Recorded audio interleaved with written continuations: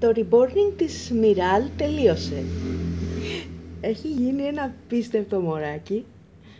Γι' αυτό μου ζητάνε συνέχεια το κοίτα αυτό.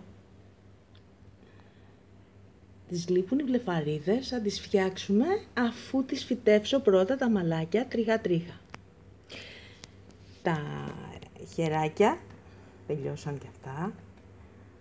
Έχουμε κάνει και τα νυχάκια μας.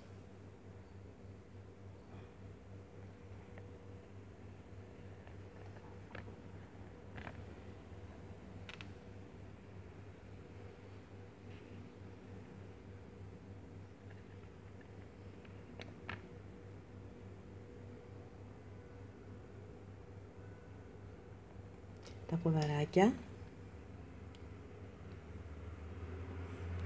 Και αυτή η πεντάμορφή μου.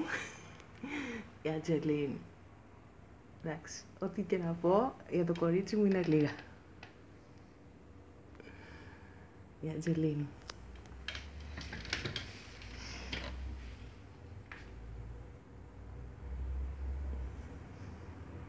κορίτσι μου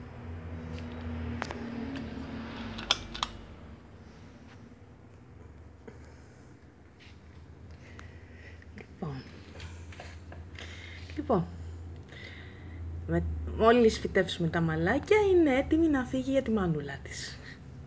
Καλό απόγευμα να έχουμε.